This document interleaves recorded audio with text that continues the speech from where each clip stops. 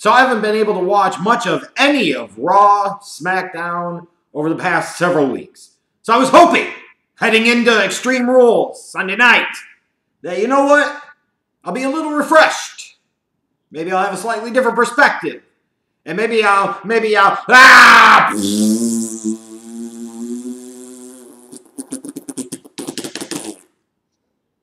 None of that crap happened. Different day, same old WWE garbage.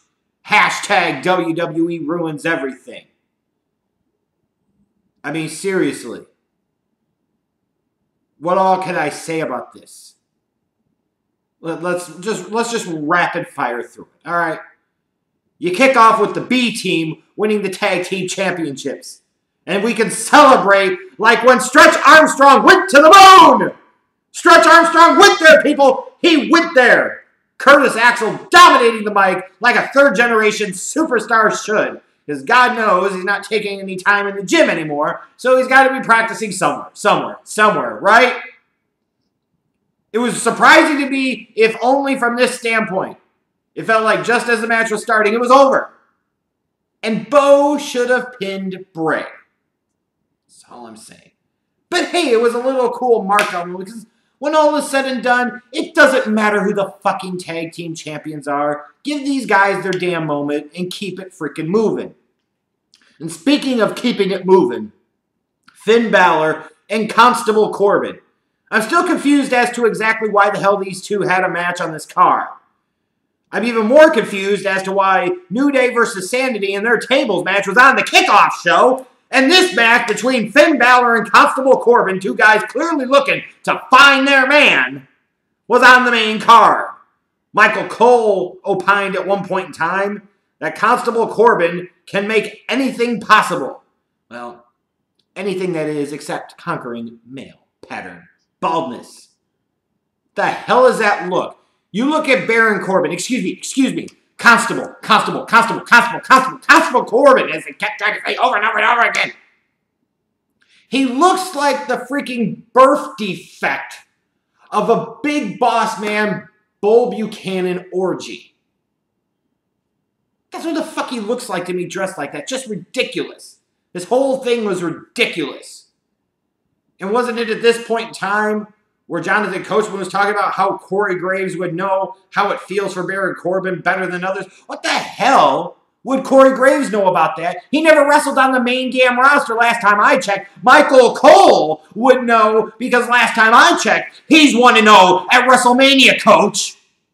Keep it moving. Kurt Angle's ultimatum to Brock Lesnar. Ooh, we're going option A, B, C. What the fuck is this? This is when the WWE tries to get too cutesy and just goes into Stupidville. Kurt Angle says that Brock either needs to show up at Raw tomorrow night or make his intentions known of when his next title defense will be, or, or, or, or, or he will be stripped of the title. What the fuck is that? Like we've had other champions that demanded that they defend the title. We used to have the rule that we kind of abided by, but then didn't, of the champion to defend their belt every 30 freaking days. But now we have all these freaking options. No, you're supposed to be an authority figure. The most sensible thing is to say, either get your pasty ass here tomorrow night on Raw, or I'm taking the title, period. Bitch. End of it. That ultimatum was stupid. We'll see if they have Braun cash in tomorrow night or something. Who the hell knows? Uh, Asuka and Carmella with Ellsworth in the freaking shark cage was the overbooked piece of garbage mess that you'd expect. And surely most of you hate it because Asuka fucking lost again. And it's like, I look at this and, you know, you fire James Ellsworth just to bring him right back and have him do the same crap all over again. So why did you ever get rid of him to begin with? You do all this stuff with Asuka and you build her up all this time just to have her lose, and then she loses, and then she loses some more. So what was the point? The bottom line I'm getting at is what was the point of any of this, which is a common theme throughout this show. What we also found out is Shinsuke still smashing grapes and apparently squashing Jeff Hardy. That came out of fucking nowhere. Usually you want baby faces to squash heels to really get it over. We went reverse. We go Shinsuke going in the in the bottom corner to freaking Jeff Hardy, Bob's your uncle, right in the testicles. And then he squashes him with that Kinshasa or whatever the hell it's called. The real highlight of this, though, even though this was clearly Shinsuke's best match on the WWE main roster, let me emphasize and repeat. This was Shinsuke Nakamura's best match on the WWE main roster, and it's not close. Don't at me eat shit because you know it's true. That's how bad this whole run's been. But the highlight comes when the Viper, Randy Orton, returns. And now we're finding out that he wants to join in on the nut smashing fun, and he's kicking Jeff Hardy in the testicles too. He got a lot of people talking about, oh, Legend Killer for Randy Orton's back. Heel Orton's the best. He's back. That's a freaking face turn to me.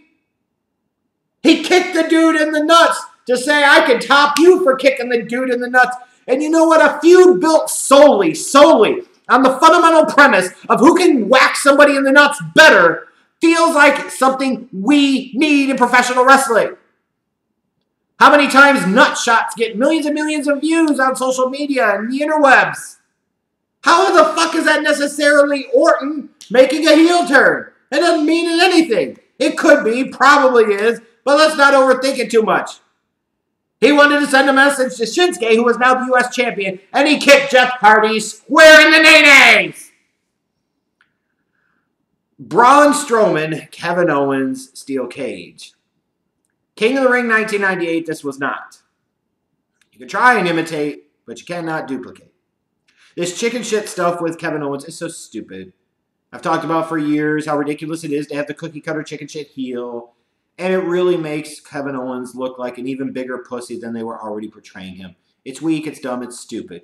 And in theory, the way they did this, with Braun being the Money in the Bank winner, God, for, God forbid they actually want these guys to win matches before they actually cash in. This is a way, you would say in theory, that Braun still benefits by losing. Because the whole premise, even though you've spent weeks talking about Kevin Owens escaping, Kevin Owens escaping, so we don't want him to escape. So we put him in a steel cage match where he can win by escaping! Hashtag WWE fail logic.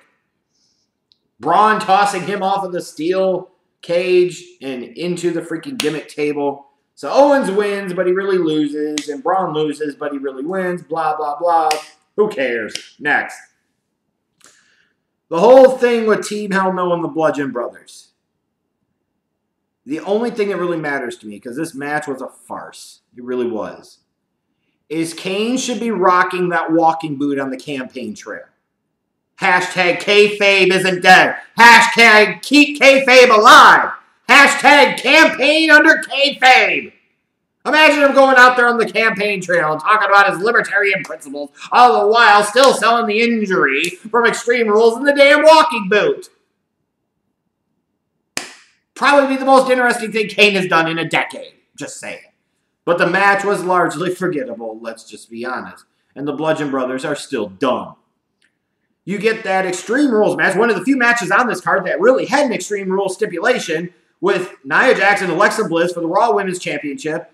And I really don't remember much about this match, meaning it made no real impression or impact on me whatsoever. And of course, Alexa wins. And of course, because it's an Extreme Rules match where you've done this whole thing about Ronda Rousey bought a ticket, she's sitting front row, Extreme Rules, she's there. She could get involved. Nia doesn't get disqualified. She could cost Alexa the title. So, of course, Ronda storms the ring only after Alexa has already won because, again, hashtag WWE fail logic. And it's all fucking wasted time. Just like it was the whole premise of Nia winning the belt, just so that way Alexa could sit there and win the women's money in the bag, so that way she could immediately get it back. The company does whatever the hell they want to do, and you know that. Oh, and here's the thing. For all that bitching about Bobby Lashley and Roman Reigns possibly main eventing this show, not only did it not main event, it didn't even semi main event. And to top it all off, Roman Reigns didn't even freaking win. So all that bitching, pissing, and moaning that so many people were doing was all for naught. And yes, while this match started off a little slow, it got better and much more interesting as it went along. And honestly, based off the way the show ended, maybe the damn thing should have went on last. Stick that in your pipe and smoke it. For some sad news, though, I guess Rusev Day wasn't Championship Day today. Damn you, Aiden English!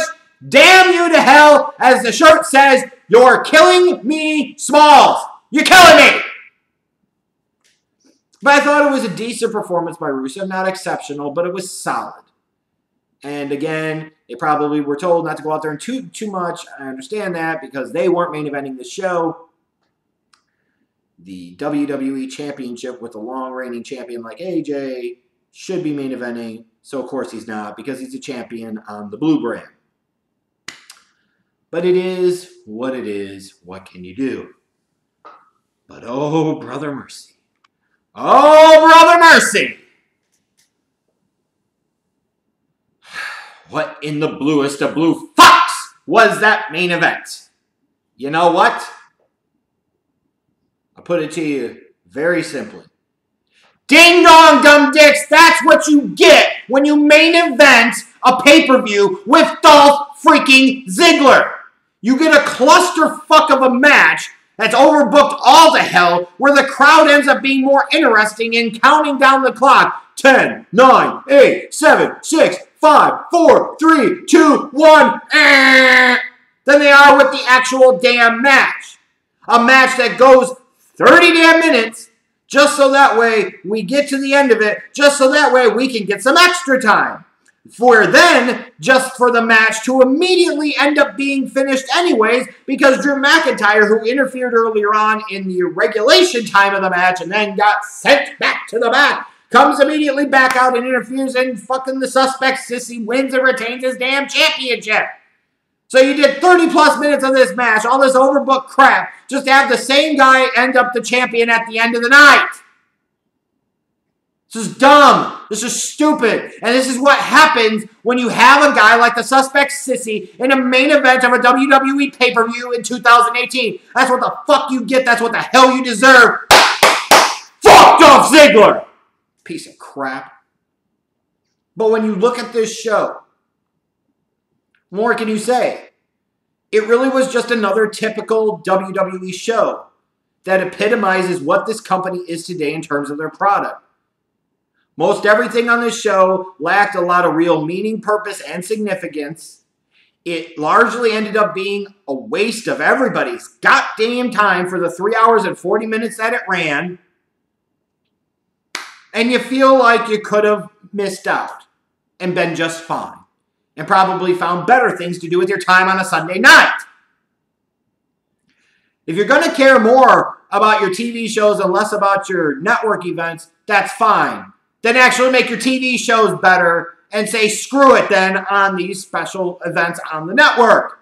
But as long as you're going to have them, you're going to try and build up to them, try to make them seem important, then actually make them seem important, Vince. This thing sucked.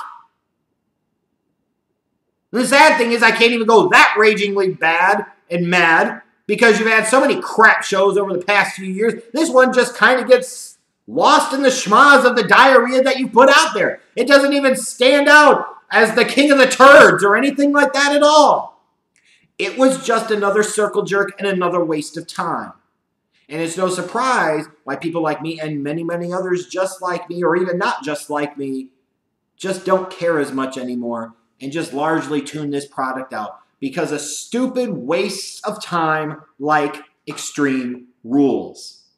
You're free to tell me what you thought of this show in the comments section. Get your flaming keyboard fingers on fire ready, whatever, I don't care. But this show was lame. And almost four hours of my life that I wish I could, but ultimately never will, get back. That's it. Fuck off Ziggler! Main event him in 2018. You get exactly what you deserve! Ding dong, dumb dicks. He sucks, always has, and always will. Hope you found out your lesson. The Pittsburgh crowd told you all you needed to know tonight. Seriously.